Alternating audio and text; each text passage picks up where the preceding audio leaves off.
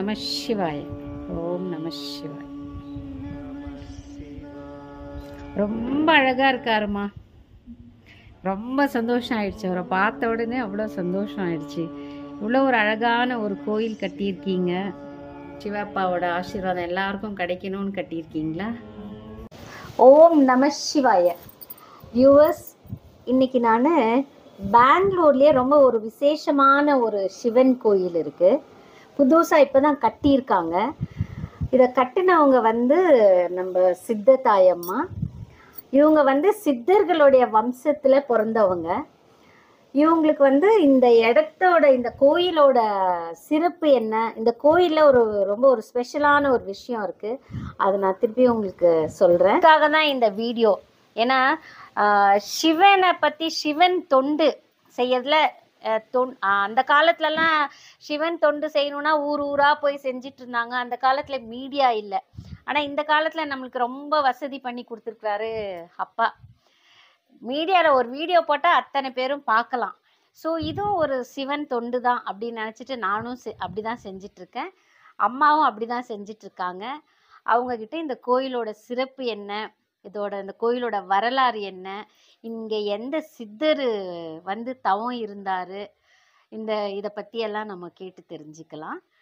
ஓம் நம சிவாய. அம்மா ஓம். நம சிவாயம்மா. சிவாய நமம்மா. எப்படி இருக்கீங்கம்மா? நலமா இருக்கும். ரொம்ப நல்லா இருக்கீங்களா? உங்களை பார்த்ததுல எனக்கும் மகிழ்ச்சி. உங்களை பார்த்ததுல சந்திச்சதுல எனக்கு ஒரு சான்ஸ் கொடுத்தீங்களே அதுக்கு ரொம்ப நன்றி. அப்பாவுக்கு ரொம்ப நன்றி சொல்றேன். அம்மா உங்களோட வீடியோஸ் எல்லாம் நிறைய பார்த்துருக்கேன் நான் ஃபர்ஸ்ட் ஃபர்ஸ்ட் உங்களோட இந்த வீடியோஸை பத்தி கேட்டுக்கணும்னு ஆசைப்பட்றேன். நிறைய வீடியோஸ் பார்த்துருக்கேன். ரொம்ப நல்ல நல்ல ஒரு ஆன்மீக விஷயத்தையெல்லாம் நீங்கள் சொல்லியிருக்கிறீங்க. உங்களை வந்து நானும் சந்திச்சிருக்கேன். எனக்கும் ஒரு நல்ல ஒரு மந்திரம் சொல்லி கொடுத்தீங்க. எனக்கு ரொம்ப நல்லா அது ஒர்க் அவுட் ஆகுது. ரொம்ப பிடிச்சிது. நீங்கள் சொல்கிற விஷயம்லாம் ரொம்ப உண்மையாக இருக்குது ப்ளஸ் வந்து அது ரொம்ப எஃபெக்டிவாக இருக்குது. எனக்கு இந்த கோயிலை எப்படி நீங்கள் ஸ்டார்ட் பண்ணீங்க? ஏன் இந்த இடத்த சூஸ் பண்ணீங்க? கண்டிப்பாக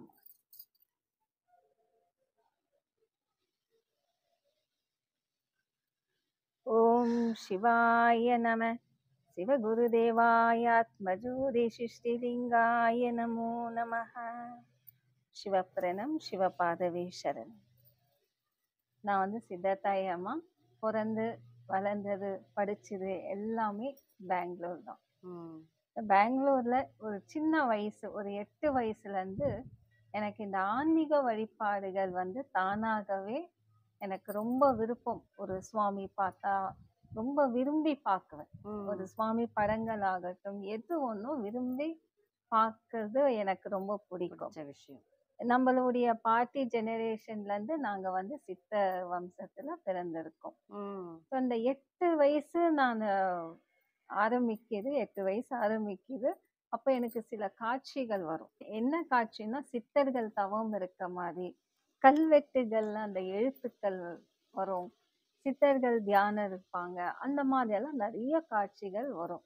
இதை வந்து நான் வெளிப்படி யார்கிட்டயும் சொல்ல பகிர்ந்து கொள்ள முடியாது. தெரியாது எனக்குள்ளவே அது வந்து நான் பார்த்துருக்கேன். அந்த கனவுல வர்றது. ஒவ்வொரு கனவுல நான் அதை பார்த்து பிரமிச்சிக்கிறேன் இதெல்லாம் யாரு? தாத்தாங்கெல்லாம் வராங்களே. அப்போ நமக்கு தெரியாது. தெரியாது. சித்தர்னா இவங்க தான் அப்படின்னு. எனக்கு தொடர்ந்து கனவுல வர ஒவ்வொரு விஷயமும் நடக்க ஆரம்பிச்சுது. நம்ம வீட்டுக்கு யாரு வராங்க போறாங்க இதெல்லாம் நான் அம்மா கிட்ட சொல்லிட்டு இருப்பேன். இந்த மாதிரி எல்லாம் வருவாங்க நீங்க பாருங்க ஆனா அவங்க மூணு நாள் கழிச்சு வருவாங்க. இப்போ ஏதோ ஒரு வீட்ல வந்து ஒரு ரிலேட்டிவ்ஸ் இறந்துடுறாங்க. ஒரு அப்படின்னா அம்மா தாத்தா இந்த மாதிரி இருக்கிறாங்க. நிறைய பேர் உட்காந்துட்டு அந்த மாதிரிகள் எல்லாம் எனக்கு வந்து சொல்ல தோ சொல்ல ஆரம்பிச்சேன். அப்ப. அம்மா சொன்னாங்க படிக்கிறத மட்டும் பாரு. நீ ஒரு பெண் குழந்தை. அதனால படிப்பு என்ன இருக்கோ அதை மட்டும் நீ பாரு. சரி நான் சொல்ல பயப்படுவேன். அம்மா சில விஷயங்கள் வந்து வேண்டாம் இதெல்லாம் வந்து வெளிப்பட பேசக்கூடாது. அது என்ன இருக்கோ அதை விட்டுடு.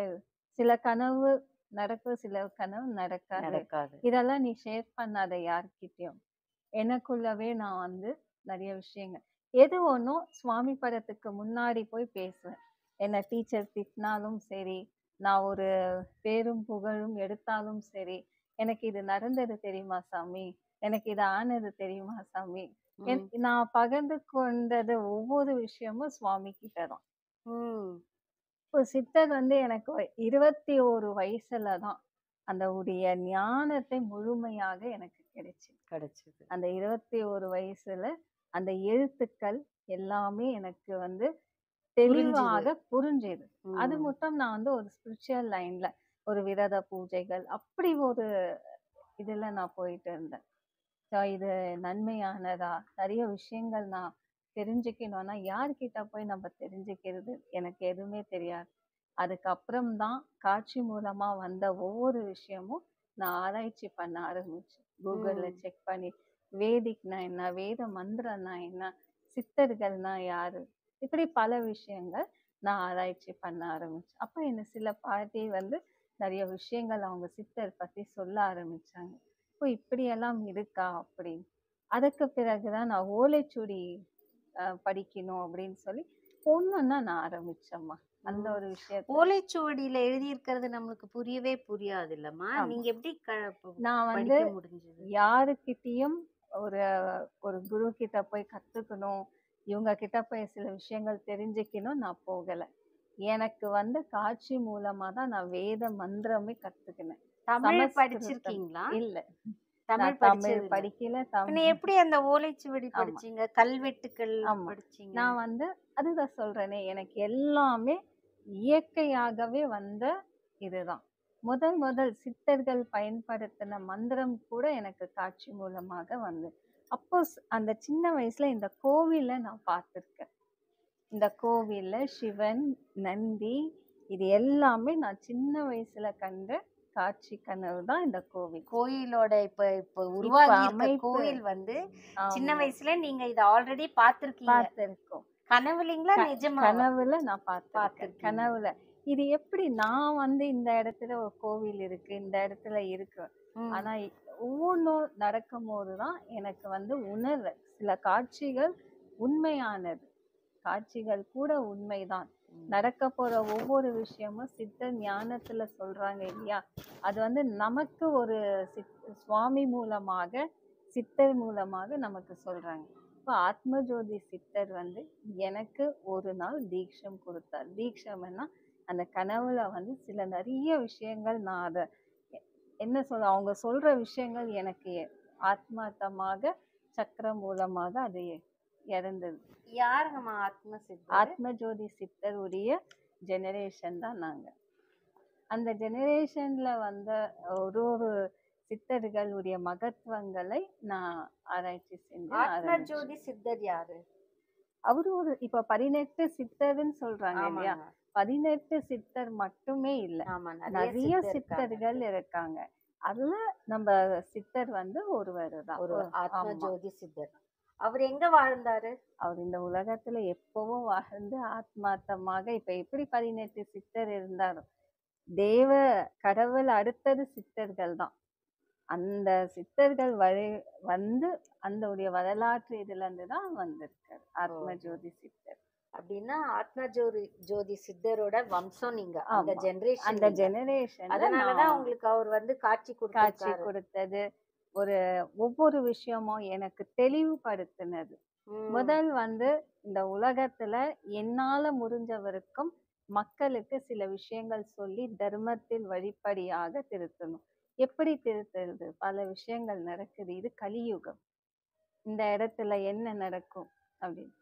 அப்புறம்தான் நான் ஒவ்வொரு விஷயமா ஒரு அஞ்சு வருஷம் நான் முழுமையா தியானத்துல இருந்தேன். வெளி உலகத்துக்கு நான் வரல. அஞ்சு வருஷம் வந்து மந்திரத்தால என்ன நன்மை நடக்குது? மந்திரம்னா என்ன? தந்திரம்னா என்ன? எந்திரம்னா என்ன? இந்த உலகத்துல இத போல ஒரு சக்தி இருக்கா? இது எல்லாமே ஒரு மாயே அப்படின்றாங்கல்ல. நமக்கு பிறப்பு இழப்பு நம்ம யாருக்கு பிறந்து வளர்றோம். அப்படியே மறைஞ்சு போயிடும். கோடி மக்கள்ல நம்மளும் ஒருவர் தான் இல்லையா? நம்ம ஏன் பிறக்கிறோம்? நம்ம ஏன் மறைந்து போகிறோம்? நமக்கு ஆயுள் மூ- இப்படி பல விஷயங்கள் நான் படிக்க ஆரம்பிச்சேன். அந்த அஞ்சு வருஷம் நான் படிச்ச ஒரு வேதத்துல அத்தனை ஆச்சரியம் நான் கண்டேன். So இது எல்லாமே நான் வந்து இயற்கையாக எனக்குள்ள நானே படிச்சு கற்றுக்கொண்டது கற்றுக்கொண்டு.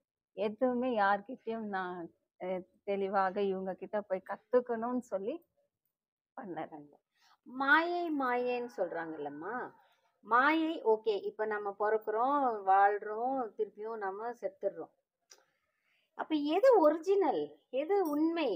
இந்த உலகத்துல இறைவனுடைய அருளாக நம்ம வந்திருக்கோம். நமக்கு வந்து ஞான சக்தி கடவுள் கொடுத்திருக்காரு.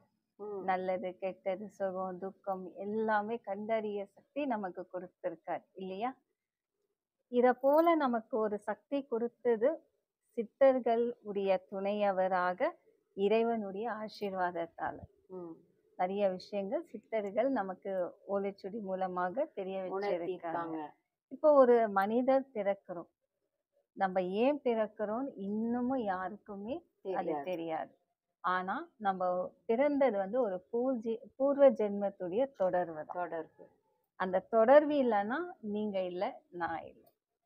ஏதோ ஒண்ணு கர்மம் செஞ்சிருக்கலாம் தோஷம் செஞ்சிருக்கலாம் சாபம் பாவம் யோகமும் செஞ்சிருக்கலாம். அதால வந்து நம்ம தொடர்பான மனிதர் பிறவி எடுத்திருக்கோம். மனிதர் பிறவி வந்து ஒரு புண்ணிய பிறவி தான். மனிதனா பிறக்கிறது புண்ணியம். புண்ணிய அந்த புண்ணிய பிறவியில வந்து நம்ம செய்யற கடமைகள் இப்ப குழந்தை பிறந்த உடனே அதுக்கு எதுவுமே தெரியாது தெரியாது. ஆனா இறைவன் அதுக்கு எழுதப்பட்டிருக்காங்க. இதுதான் உன்னுடைய விதி. இங்கதான் நீ போய் பிறக்கணும். இவங்க தான் உங்களுக்கு மாதா பிதா குரு தெய்வம். இவங்கள தான் நீ போய் கண்டறியணும். எங்கேயோ இருப்பாங்க. ஆனா இவங்க போய் அவங்கள பார்க்குவாங்க. ஆமா அது வந்து ஒரு தூணு தான் சரிங்களா? அந்த மாதிரி ஒரு குழந்தை இந்த இடத்துல தான் பிறந்து சாதிக்கணும். இந்த இடத்துல தான் பிறந்து அவங்களுக்கு அவமானம் படணும் அப்படின்னு ஒரு விதி. விதியை யாராலையும் மாத்த முடியாது. முடியாது. அப்ப விதிய மதியால வெல்லலான்றாங்களே கண்டிப்பா. அது வந்து நம்ம இறைவனிடம் போராடணும். ஆமா. அந்த இறைவனிடம் வந்து நம்ம ஒரு போராட்டம் எனக்கு ஏன் இந்த கஷ்டம் கொடுத்த? நான் ஒரு தெளிவாயிட்டேன். இனிமேல் இந்த ஜென்மத்துல நான் யாருக்கும் துரோகம் செய்யல. அப்படின்னு சொல்லி அந்த ஒரு திருத்துறாங்க பாருங்க. திருந்திக் கொள்றாங்க அவங்களுக்குள்ளவே. ஆமா. அதுதான் புண்ணியம். புண்ணியம். அந்த அத நம்ம தெரிஞ்சுக்கணும். நம்ம ஓகே நம்ம செஞ்ச பாவத்தினால தான் நம்ம இந்த. கஷ்டப்படணும் அதனால நம்ம கடவுள்கிட்ட சரண்டர் ஆயிடணும். அவ்வளவுதான். அப்போ நம்மளுடைய கர்மா எல்லாம் கம்மியாகும். நிச்சயமா. அதுதான் விதிய மதியால. வேலைலாம். இப்படி அம்மா நான் நிறைய விஷயங்கள் கத்துக்கினேன் தெரிஞ்சுக்கினேன் அதுக்கு பிறகுதான் இந்த உலகத்துல நான் வந்து வெளியே வரணும். வெளியே வந்தாதான் பக்தர்களுக்கு நிறைய விஷயங்கள் தெரியப்படுத்த தெரியப்படுத்த முடியும்னு. சொல்லி நான் வந்தேன். அதுக்கு பிறகு இந்த கோவில்ல வந்து எனக்கு உருவானது வந்து நான் சின்ன வயசுல காட்சி கண்டு சொன்னேன் இல்லைங்களா? இந்த கோவில்ல வந்து நான் ஓலைச்சுவடியில தான் படிச்சேன். இந்த பூமியில இந்த கோவில் கட்டணும். எங்கெங்கேயோ ஃபர்ஸ்டே இருந்துச்சு ஆமா. சொல்றாங்க. ஒரு யுகத்துல இருந்து அது பஸ்மமானதுதான் இந்த கோவில் இந்த இடம். இந்த இடம். இந்த இடம். ஆல்ரெடி சிவன் கோயில் இங்க இருந்துச்சு. ஆமா. ஏன் பஸ்மமாச்சு? எப்படி இது வந்து? ஒரு யுகம் அழிந்ததுன்னு சொல்றாங்கல்ல இப்ப. பூமியில தோன்றுனா லிங்கம் வருது எத்தினோ அடி. அது வந்து ஒரு யுகம் அழிஞ்சிருக்கும் இது எவ்வளோ யுகம் யாருக்குமே கணிக்கப்பட்டு தெரியாது. ஒரு யுகத்துல இந்த கோவில் வந்து சிவலிங்கம் இருந்த இடம் தான் இந்த இடத்துல சித்தர்கள் தவம் இருந்த இடம். இடம். இந்த இடத்துல வந்து ஒரு சித்தர் வந்து தவம் இருந்திருந்தாரு. அப்போ ஓலைச்சுவடி எழுதப்பட்டார். ஓலைச்சுவடி எழுதிட்டே இருக்கும்போது இருட்டு. அந்த இருட்டுல எதுவுமே தெரியல அவருக்கு. அதுக்கப்புறம் அவர் என்ன சிவப்பா நான் ஓலை எழுதும் போது எனக்கு ஏன் இந்த இருட்டை கொடுத்தன்னும் போது ஒரு வஜ்ரம் வந்து கீழே விழுந்து அந்த வெளிச்சத்துல அவர் எழுதினார். அது எழுதிட்டு உடனே என்ன செய்தாரு? அவர் கிளம்ப அதுக்கு முன்னாடி ஒரு காலமாடு அவருக்கு துணையா இங்க இருந்தது. சித்தருக்கு. அந்த ஓலைச்சுவடி எழுதும் போது அப்ப என்ன செய்தாரு? அந்த வெளிச்சத்துல ஓலையெல்லாம் எழுதி முடிச்ச பிறகு அவர் கிளம்பும் போது சிவலிங்கத்தை ஒரு சிவலிங்கம் வச்சுட்டு காலமாடை பார்த்துக்க சொல்லிட்டு இனிமேல் இந்த இடம் சிவ ஆலயம் இருக்கணும்னு சொல்லி அவர் கிளம்பி மறைஞ்சு போயிட்டார். ஒரு அம்மா கர்ப்பிணி பெண் ரொம்ப துடிச்சிட்டு இருக்காங்க வழியில. அப்போ அந்த காளமாடு வந்து சிவனுடைய அந்த கொம்ப லிங்கத்து மேல தள்ள தள்ள சிவனுடைய ஆசீர்வாதத்தால குழந்தை பிறந்தது. அந்த இடம் தான் இந்த இடம். அந்த இடம். எப்படி உங்களுக்கு கண்டுபிடிச்சீங்க அந்த இடம் இதுன்னு? அந்த மண்ணை பார்க்குவேன் அந்த. பூமியில ஒன்றரை அடி தோண்டி இந்த இடத்துடைய மண் எனக்கு உத்தரவாதம் கிடைக்கும். எது ஒண்ணும்? இன்னைக்கு நான் ஏதாச்சும் வேண்டுனேன்னா எனக்கு காட்சி மூலமா எல்லாமே தெரிய வரும். இத செய்யணும். நீங்க வேற ஊர்ல இந்த இடத்த விட்டு ரொம்ப தூரத்துல உங்க வீடு. ஆமா. ஆனா இங்க லேண்ட் காலியா இருக்குன்னு. சொல்லிருக்காங்க நீங்க வந்து இது வெறும் பாறை. தான். இந்த. பாறையில நாங்க கட்டின கோவில். இதுல வந்து ஒரு நல்ல ஒரு அன்பான பக்தர். அவரு சிவன் பக்தர். அவர் பேர் வந்து பாலகிருஷ்ண ஐயா ம், அஹ் ரொம்ப அரசியல்வாதி கிட்ட போகணும். எங்கெங்கே போகணும்? எனக்கு சிவன் கோயிலா? எந்த இடத்துல போனாலும் எனக்கு எந்த உத்தரவாதமும் கிடைக்கல. கடைசியில வந்து ஒருத்தர்கிட்ட போய் கேட்கும் போது பாலகிருஷ்ண ஐயா அந்த இடத்துல நின்றுட்டு இருந்தாங்க. என்னம்மா வேணும் உனக்கு? ஐயா நான் வந்து கோவில் கட்டணும். எனக்கு இடம் வேணும் அப்படின்னு கேட்கும் போது அவரு நம்ம வீட்டுக்கு வந்தார். வந்த உடனே இவ்வளோ மகத்துவம் இருக்கா? அப்படின்னு எனக்கு இந்த வேலை ஆகணும் ஆகுமா அப்படின்னாரு. நான் ஒரு மெம்பர் ஆகணும். எல்லா மக்களுக்கு உதவி செய்யணும். ஸ்லம் போர்டு மெம்பரா ம், ஆகணும்னு சொல்லி. ம், ம், அப்போ நான் அவருக்கு ஒரு மந்திரம் கொடுத்தேன். ம், நாற்பத்தெட்டு நாள் இத படிங்க. அவர் வந்து மாமிசம் சாப்பிடுறவர் சாப்பிடாதீங்க. இத படிங்க. கண்டிப்பா நீங்க ஒரு மெம்பர் ஆகுவீங்கன்னு. அதே மாதிரி படிச்சாரு அவரு ஸ்லம் போர்டு மெம்பர் ஆனாரு. அப்புறம் ஒரு நாள் இந்த இடம் எடுத்துன்னு காட்டினார். இதை நான் எங்கேயோ பார்த்தேனே எங்கேயோ பார்த்தோமேன்னும் போது அந்த காட்சி மூலமா நான் பார்த்த இடம் இது. அது எப்படியோ கடவுள் கனெக்ட் பண்ண வச்சிருவாரு. அது- இடத்த நீங்க. கண்டுபிடிக்கிறதுக்கு அந்த பேரே வந்து. வஜ்ரநாதர் தான். வஜ்ரநாதர். ஓ அந்த வஜ்ரநாதர் வஜ்ரம் கீழே விழுந்து கீழே விழுந்து சித்தருக்கு வெளிச்சம். கொடுத்ததுக்காக வஜ்ரநாதர். வஜ்ரநாதர் உள்ள ஆத்ம ஜோதி சித்தர் இங்க இருப்பாரு. அந்த அவரு வந்து அஹ், அதுக்கு பிறகு சித்தி விநாயகர் கட்டணும். பத்து வருஷம் ஆச்சுங்க. இந்த சித்தி விநாயகர் ஆமாங்க. முருகர் இருந்தாரு. இந்த சிவாப்பா வந்து போன வருஷம் தான் ஸ்தாபனை ஆனார். கும்பாபிஷேகமே. போன வருஷம் தான். நடந்தது. போன வருஷம் தான் இந்த கோயில் கம்ப்ளீட் ஆச்சு. கம்ப்ளீட் அப்புறம் பிரதிஷ்டை பண்ணி எல்லாமே பக்தருடைய காணிக்கையால தான். அதுக்கு பிறகு நான் வந்து ஒவ்வொரு மந்திரமா இந்த வெளி உலகத்துக்கு தெரியணும்னு சொல்லி ஃபேஸ்புக்ல வந்து போட ஆரம்பிச்சேன். நிறைய பேர் எனக்கு அப்டேட் பண்ணுவாங்க. என்ன என்ன போ பிரச்சனை இருக்குன்னு பர்சனல் மெசேஜா அனுப்ப ஆரம்பிச்சாங்க. சிங்கப்பூர்ல ஒரு அம்மாவுக்கு வந்து cancer fourth stage ninety nine point nine percent அவங்க வந்து உயிரோட இருக்க மாட்டாங்க. டாக்டர் சர்டிஃபிகேட்டே கொடுத்துட்டாரு. வீட்டுக்கு அழைச்சிட்டு போயிடுங்க. அவங்க என்னுடைய நான் வெறும் என்னுடைய முகம் காட்ட மாட்டேன். மெசேஜ் மட்டும். அவங்க என்ன காண்டாக்ட் பண்ணாங்க. இந்த மாதிரி இருக்குமா?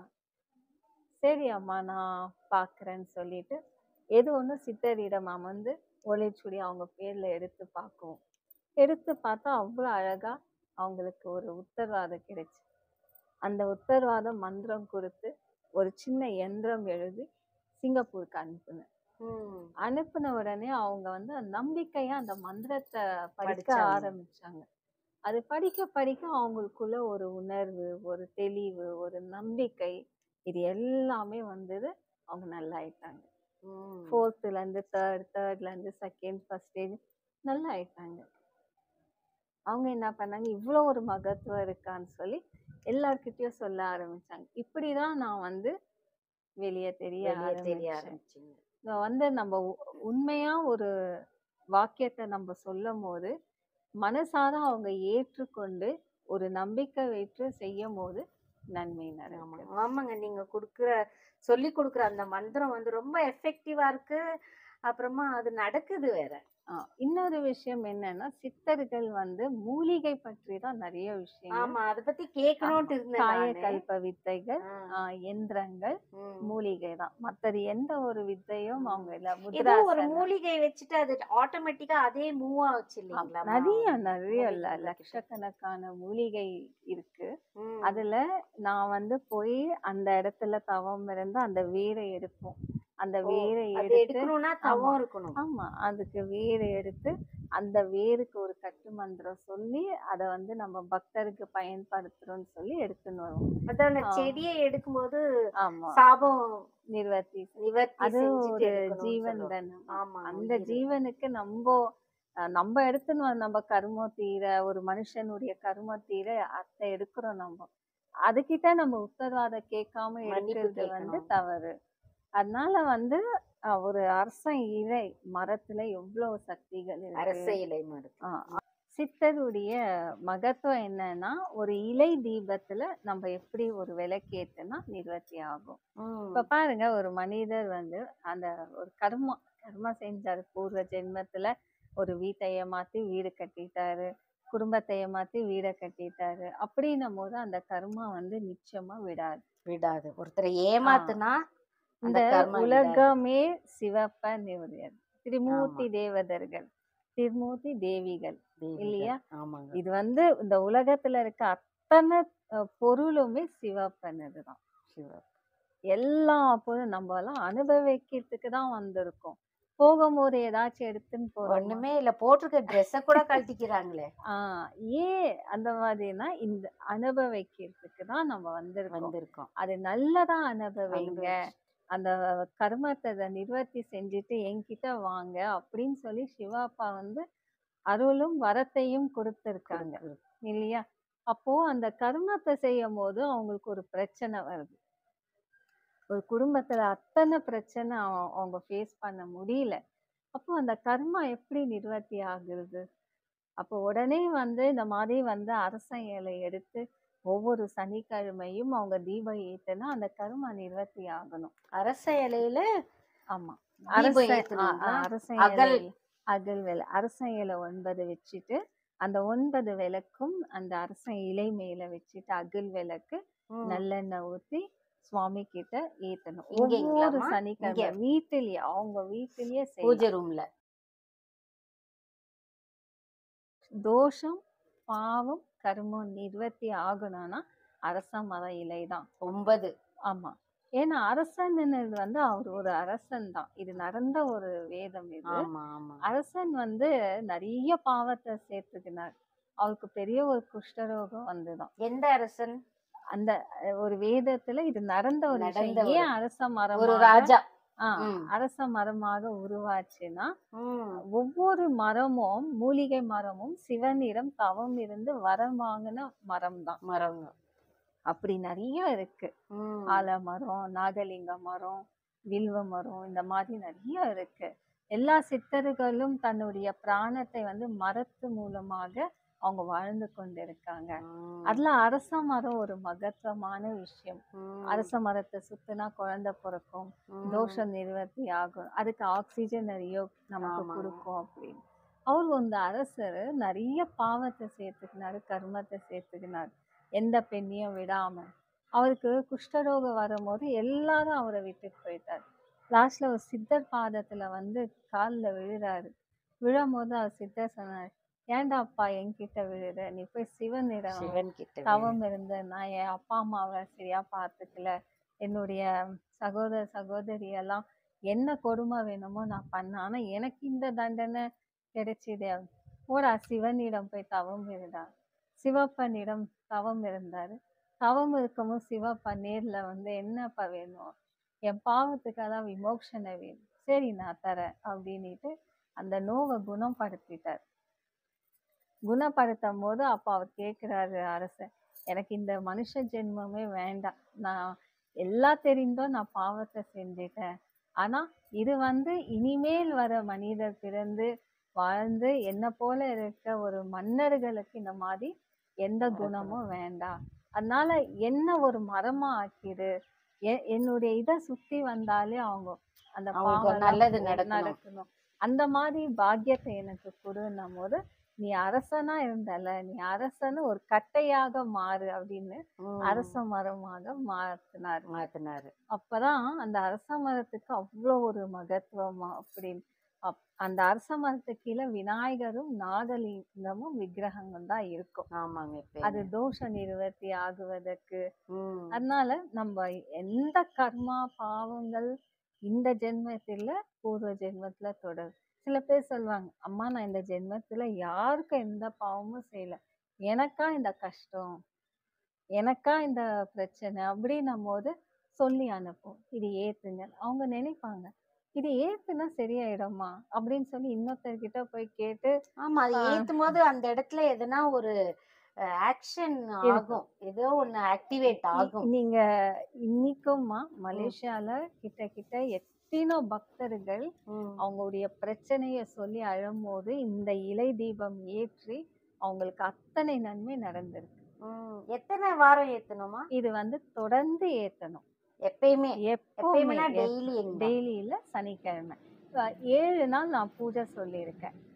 ஒரு மனுஷனுக்கு என்னெல்லாம் பிரச்சனை வரும் அந்த ஒரு பிரச்சனையை தீர்த்துக்க இந்த ஏழு நாள் பூஜை செய்தாலே போதும். ஏழு நாள்னா இல்ல. Only Saturday? இப்போ திங்கட்கிழமை பிள்ளைங்க படிக்கல பிள்ளைங்க அடமா இருக்கு. சின்ன சின்ன தடைகள் எதை செய்தாலும் நமக்கு தடைனா விநாயகர் கிட்ட வந்து எருக்கம் இலையில தீபம் ஏற்றணும் ரெண்டு தீபம். அந்த காம்பு வந்து சுவாமி பார்க்கணும் துதி வந்து நம்மள பார்க்கணும் விளக்கு தீபம் வந்து சுவாமிய பார்க்கணும். எந்த எருக்கலனா ஓகேங்களா? அந்த வெள்ளை வெள்ளை. இருக்கும் ம். ஆச்சுங்களா? இப்போ செவ்வாய்க்கிழமை குடும்ப பிரச்சனை கணவர் மனைவி பிரச்சனை பிரிஞ்சு போயிட்டாங்க அவங்க ஒன்றாகணும் மாமியார் மருமக பிரச்சனை எல்லா பிரச்சனையும் குடும்பத்துல இருக்குன்னா மா இலை தீபம். மா இலை. அதை ஏத்திட்டு கந்த குரு கவசம் படிக்கணும் ம். இலை தீபம் குழந்தை பிறக்கலையா தோஷம் இருக்கா காலசர்ப்ப தோஷம் எல்லாத்துக்குமே ஒரே தீர்வு மா இலை தான். எல்லா காரியத்துக்கும் மங்கள கிரகமான காரியத்துக்கும் நம்ம என்ன மூலிகை இலை சேர்க்கிறோம்னா மா இலை தான் ஒரு தோரணம் மா இலை தான். அத ஒன்பது தீபம் ஏத்தணும் சேம் அதே மாதிரி தான் காம்பு சாமி பார்க்குற மாதிரி. புதன்கிழமை. கடனே இல்லாத இருக்கணும். யாருக்கிட்டயும் கடன் வாங்கக்கூடாதுன்னா தாமரை இலை. தாமரை இலை ஒரு இலை வச்சுட்டு ஆறு விளக்கு. மலேசியால அந்த தாமரை சீட் வாங்கி வளர்க்குறாங்க. விதை வாங்கி ஒரு சின்ன தொட்டியில தண்ணி அத புதன்கிழமை ஏத்துறாங்க. ஆறு தீபம். தானிய தன தானியம் எல்லாம் நிறைஞ்சு இருக்கணும். வீட்ல வஸ்திரங்கள் நிறைஞ்சு இருக்கணும் வீடு கட்டணும் வாகனம் வாங்கணும். செல்வம் செல்வம் அதுக்கு வந்து. லக்ஷ்மி பூஜை. லக்ஷ்மி பூஜைக்கு லக்ஷ்மி பூஜைக்கு ஒரு சின்ன மண் பானையில கல் உப்பு நிரப்பிடணும். வெள்ளை பானையில. ஆமா. அது மேல எலுமிச்சை பழம் வைக்கணும்.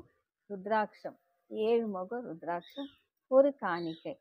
அந்த மண் பானை சுத்தி ஒன்பது விளக்கு. அகல் விளக்கு நெய் தீபம் ஏத்தணும்.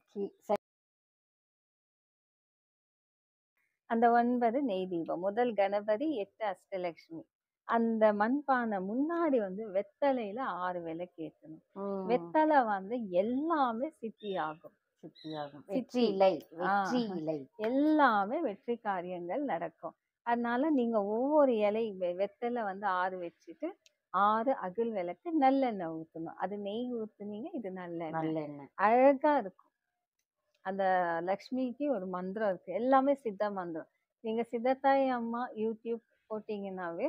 அதுல இந்த ஏழு நாள் பூஜையும் வந்துடும் சரி சரி. சரிங்களா? அப்ப அந்த லக்ஷ்மி தீப பூஜை அது ஏத்தி நிறைய பேருக்கு வீடு வாங்கியிருக்காங்க வாகனம். வாங்கியிருக்காங்க நல்லா இருக்காங்க. சரி, இது வந்து ரொம்ப முக்கியம் வந்து லக்ஷ்மி பூஜை நிறைய பேர் செய்ய ஆரம்பிச்சு. யூஎஸ் லண்டன் ஸ்ரீலங்கா எல்லா இடத்துலயும் செய்வாங்க. செய்யறாங்க அதுக்கு பிறகு சனிக்கிழமை வந்து சாபங்கள். முக்கியமா குடும்ப சாபம் நீங்கணும். கர்ம நீங்கணும் தோஷம் நீங்கணும் பாவங்கள் நீங்கணும்னா அரசன் இலை சாபத்துக்கு மட்டும் ஆலமரம் இலை. ஆலமரம் இலை இருக்கு இல்லைங்களா குடும்ப முன்னோர்களுடைய ஆசீர்வாதம் இல்ல முன்னோர்களுடைய அவங்களுடைய. பித்திர தோஷம் புத்திர தோஷம் இதெல்லாம் இருக்கு சாபம் இருக்கிறதுனால குடும்பத்துல பிரிவாயிடும். யாரும் ஒண்ணா சேர முடியாது. அந்த மாதிரி திருமணம் ஆகும் தாய் வீட்டுக்கு வந்துடுவாங்க. திருமணம் ஆகாதே இருப்பாங்க. இதெல்லாம் சாபம். சாபம். அப்ப ஆலமரம் இலை அதுல வந்து ஒன்பது இலை. ஞாயிற்றுக்கிழமை வந்து திருஷ்டி கழிக்கிறது. எல்லாம் இந்த அத்தனை வீட்ல இருக்கிற திருஷ்டிகள் இப்போ உங்க மேல யார் திருஷ்டி பட்டாலும் அது கழிக்கிறது ஞாயிற்றுக்கிழமை அமாவாசை இந்த. மாதிரி ஒவ்வொரு மகத்துவம் சித்தர்கள் வந்து ஓலைச்சுடியில மூலிகை இலை அந்த உடைய பற்றி சொல்லும் போது இதனால இது தீருதா. எல்லாத்துக்குமே பரிகாரம் இருக்கு அப்படின்னா இந்த இலைங்கள்ல மூலிகைங்கள இலை. செடி கொடிங்கள்லயே.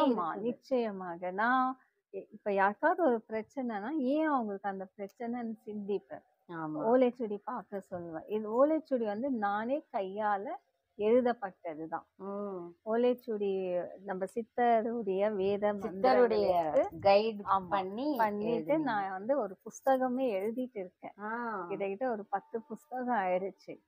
வரலாற்று காலிக்ஞான்னு சொல்லுவாங்கல்ல நடக்க போற விஷயங்கள் சித்தர்கள் என்ன சொல்லியிருக்காங்க அதெல்லாம் நான் எழுதிட்டு இருக்கேன். இதெல்லாம் முடிச்சிட்டு கண்டிப்பா அது வந்து ஒரு பெருசா ஏதாச்சும் ஆமா. பண்ணணும் அப்படின்னு. அது. ஆக்சுவலி நான் வந்து மோதி ஐயாவை பார்க்கணும்னு எனக்கு ஒரு விருப்பம். இந்த வேத மந்திரம்லாம் போய் ரீச் ஆமா ஆகணும் கண்டிப்பாங்க. கண்டிப்பா அதெல்லாம் தெரியணும் அப்படின்னு சொல்லி. ஆமாங்க. So, வேதத்துல வந்து நிறைய இருக்கு. சமஸ்கிருதாய அஷ்டதேவாய முத்ரயோகன மந்திர தத்வை தாத்ர விமோக்ஷனவே தந்திர யோகனம் சௌபாகியவதியே பிரமாத்ம தேவாய பவியம். நம்ம தாத்திரமும் தந்திரமும் ஒண்ணு. அந்த தந்திரத்தால தர்மத்தில் வழிப்படியாக எது வேணாலும் செய்யலாம். தர்மம் செய்தாலே போதும்மா. தர்மம் மனசு வந்து நேர்மையா இருந்தாலே எல்லாமே சக்சஸ் எல்லாமே சக்சஸ்